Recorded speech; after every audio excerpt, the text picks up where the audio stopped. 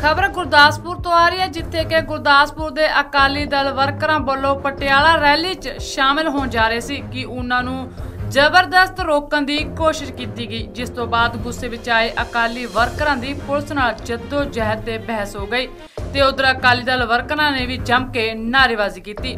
ਦੇਖੋ ਇਸ ਦੀਆਂ ਲਾਈਵ ਤਸਵੀਰਾਂ।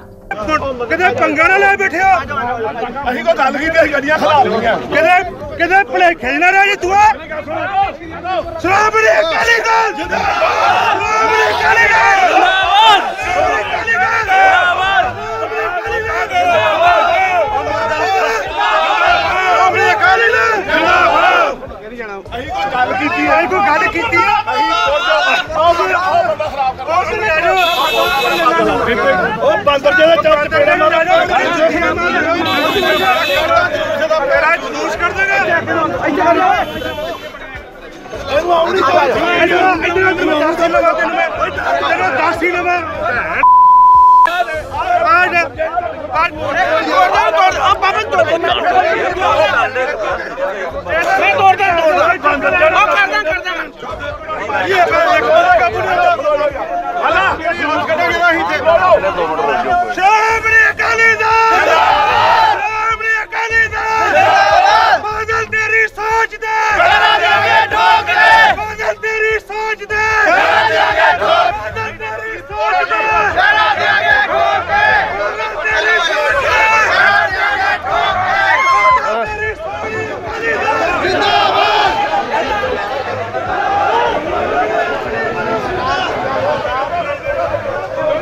Bureau report channel Punjab.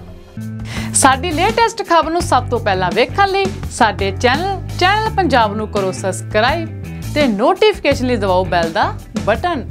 Facebook ਨੂੰ ਲਾਈਕ ਕਰੋ ਟਵਿੱਟਰ ਨੂੰ ਟਵੀਟ ਕਰੋ ਇੰਸਟਾਗ੍ਰam ਨੂੰ ਫੋਲੋ ਕਰੋ।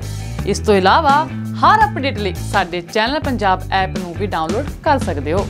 ਹੋਰ ਵਧੇਰੇ ਜਾਣਕਾਰੀ ਲਈ ਸਾਡੀ ਵੈਬਸਾਈਟ ਨੂੰ ਲੌਗਇਨ ਕਰੋ। Punjabi.